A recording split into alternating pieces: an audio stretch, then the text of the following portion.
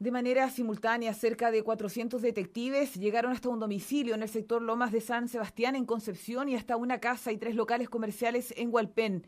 Vecinos de estas zonas alertaron de madrugada que se oían helicópteros sobrevolando a baja altura y que había un procedimiento relevante en curso.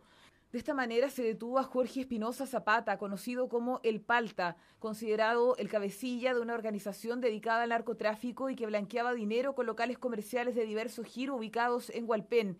El alcalde de la comuna, Miguel Rivera, señaló que los consejos comunales de seguridad se había alertado de situaciones como esta. Son temas que venimos nosotros planteando hace mucho tiempo. Nos llama poderosamente la atención de que en la comuna de Hualpén circulen muchos vehículos de alta gama. Eh, no sé, botillerías o locales comerciales, ¿no es cierto? Que, que, a, grandes vistas son, son locales comerciales como que los sacaran de, otro, de otros lugares, digamos. Entonces, efectivamente algo raro hay. Uno de los locales allanados, la botillería Los Compadres, ubicada en la esquina de Suiza con Bélgica, se encuentra cerrado con un adhesivo de la PDI en su puerta dando cuenta de la incautación.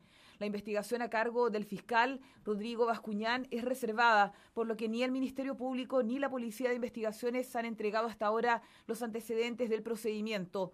La delegada presidencial en el Biobío, Daniela Dresner, valoró el despliegue realizado por la PDI en este caso, aunque tampoco pudo referirse en detalle. Nosotros todavía tenemos prohibición de comunicar respecto a este procedimiento. Lo único que sí les puedo contar es que efectivamente es un procedimiento bastante amplio eh, con gran presencia de agentes en distintas comunas eh, de la región del Biobío y también de otras regiones y que fue realizado por la Brigada Antinarcótico. Nosotros, desde luego, eh, felicitar el tremendo trabajo que hace la Policía de Investigaciones constantemente.